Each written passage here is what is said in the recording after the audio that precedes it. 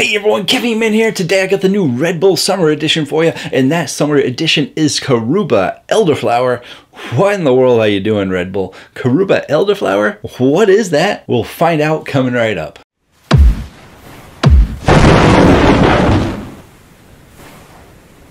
Hello again everyone, thank you so much for joining me today. I really do appreciate it. And in today's video, we're going over Red Bull's newest summer edition, and that is Curuba elderflower. And the very first question on people's mind is what in the world is a Curuba elderflower? And I am here to tell you that Curuba is based off of banana passion fruit and elderflower is, well, well, it's elderflower, but what is the flavor supposed to be like? You know, we talk about banana passion fruit and do we got a banana energy drink? No, no, no. Banana energy drinks don't exist and probably never will. But we do have something that is going to be sort of like a sweet passion fruit and the elderflower is supposed to give it kind kind of like a melon flavor, maybe even a touch of pineapple flavor. And overall, between everything that I was reading online about curubas, banana passion fruits, and elderflower, it seems like we could potentially get a sort of sweet, sort of sour, exotic, tropical, melony kind of flavor. But once again, who knows, and who knows where uh, Red Bull comes up with these ideas. A lot of people in my comments say, what's Red Bull doing with their flavors? They need something new and unique and creative because right now there are companies that are doing orange creamsicle, strawberry splashes, sherbet, and all sorts of different candy flavors, etc., etc., etc. And everyone's like, why is Red Bull not coming up with anything unique?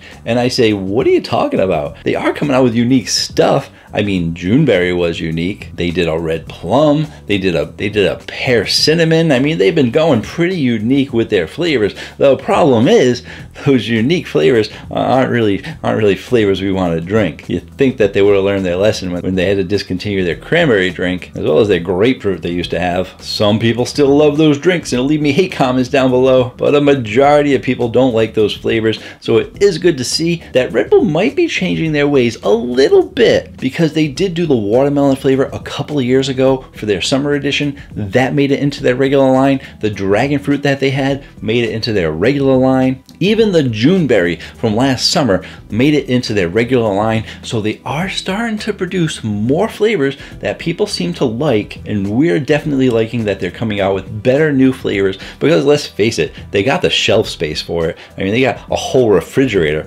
full of Red Bull. And the thing is, most of it is just their regular flavor and sugar-free flavor because up until a while ago, they didn't have a large selection to choose from for different flavors. But that has been slowly growing over the years. And now they've actually started making the flavors in 12 ounces and 8 ounces to help fill up that shelf space with some other drinks besides just Red Bull. And it should also help them stay competitive and, and you know, not really sure if they're not sure if they're worried about that because they are the number one energy drink company in the world beating out Monster by a couple of billion, but Monster did just purchase Bang, so Monster's numbers could go up, and Celsius is rising incredibly, so Red Bull does need to start coming up with some new drinks and some more sugar-free drinks. Let's hope that this summer edition is like their last two summer editions and gonna make it into their regular line. And there's only one way to find out if it's gonna do it, so let's taste it out.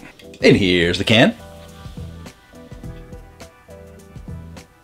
And it is definitely a very bright can.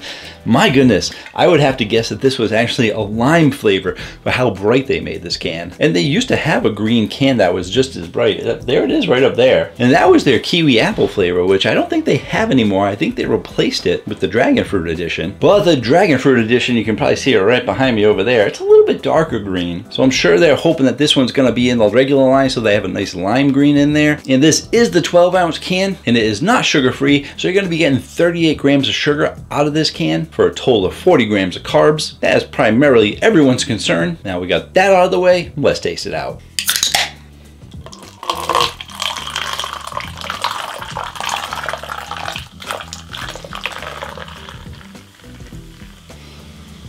Not sure what was going on with that pour there, but always trying something new. And we got kind of your standard energy drink color here. Maybe a touch lighter than the standard energy drink color, but close enough. It out.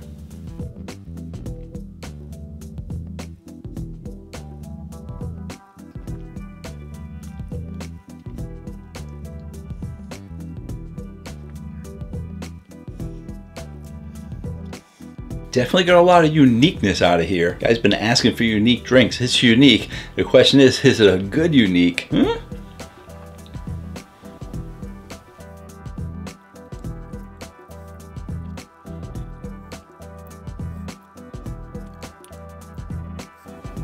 Alrighty, so here we go. For your carbonation, I'm getting a medium carbonation out of there. Uh, I'm not sure, I bought a four pack from Walmart, so I'm not sure if it got shook up on the way, but uh, I'm not really used to Red Bull being that medium in carbonation, and I don't typically drink Red Bull much anymore. I did four years ago or so when, uh, when I first started my channel, but with a lack of sugar-free options and the high sugar content, I've cut back. But the carbonation does seem to be a medium carbonation. It makes for a smoother drink drink. Definitely a fan of the lower carbonation. For your sweetness, um, it's kind of going back and forth on me. I would have to say that it is high, but on the low end of high. And eh, man, man, man. Gotta go from the can. Who drinks it from a cup, right?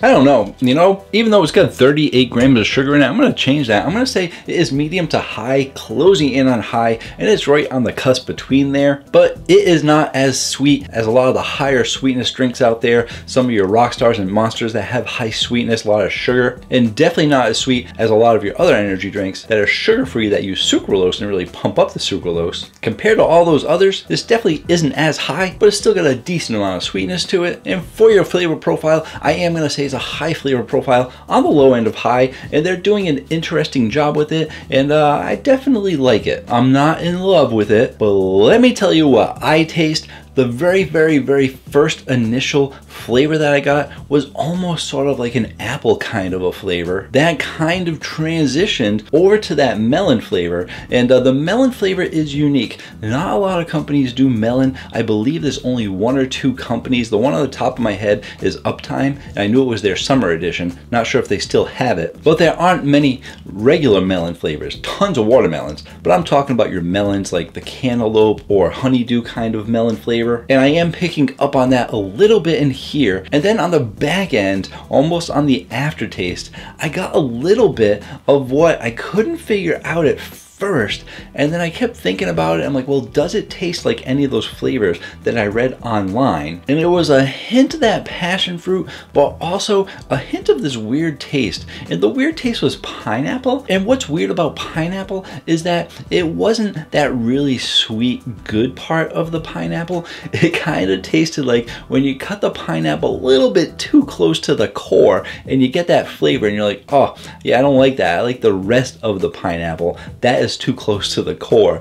So I think you got some core pineapple in there, which it's odd, but maybe that's just my imagination. Maybe the flavor is some kind of a different flavor in there, like the Red Bull aftertaste or something, but that's what I'm getting. So I'm kind of getting this apple melon slight pineapple flavor, not really getting any sour out of there. It's really not a sweet and sour drink. And I think that you're getting, I think most people are gonna know that it's Red Bull because it definitely has its own Red Bull flavor to it. If you drink drink any of the Red Bulls or a fan of Red Bull, you're gonna know that base flavor that goes through the line. You're definitely getting that in here. And I think you're getting a solid amount of those other flavors of the Curuba elderflower. And that's the thing too. You know, you say, well, what's a Curuba taste like? And people are like, well, it's like a banana passion fruit. And what's elderflower taste like? Well, it's kind of like a, a melon pineapple. It's like, well, no, it's still its own thing though. This is things that it's similar to. And since I haven't had Curuba or elderflower, this could taste exactly like Curuba elderflower, which kind of tastes like an apple, melon flavor, and some pineapple core. As for that apple flavor, some people might be like, well, is it that strong apple flavor? And it is nowhere near anything like that Granny Smith sour apple that a lot of companies have right now. Your Alani Nu Witch's Brew, your sour apple from Ghost, your sour apple from Rain, all those other apples out there, this isn't like those. Those are a bit sour. They're more towards a Granny Smith apple. And the apple that you're getting out of here is much more of sort of a red apple apple flavor. If I had to give you some percentages, I would probably say there's about a 45% uh, red apple kind of flavor to it, a 35% overall melon feel to it, and a 20% pineapple core kind of flavor to it. But I think enough people are gonna like it so that they can put it into their regular line. So let's go ahead, let's take a look at the Caffeine Man rating chart. Not many Red Bulls have scored that high. Not 100% sure what I'm gonna put on the list at the moment because I'm not sure really what to compare it to. It doesn't really compare to the other apples because all those apples are different. There aren't that many melons on there. So I'm gonna toss in some ones that weren't that strong in sour green apple flavor because it's a lighter apple flavor. Toss up the melons on there, of course.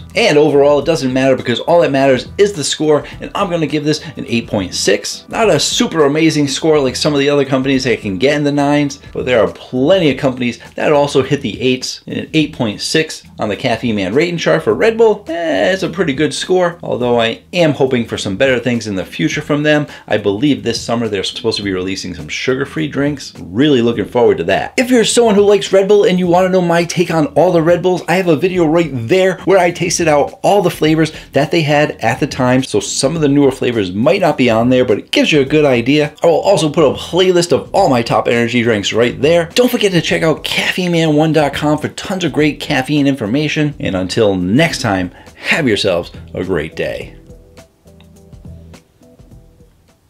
Or night.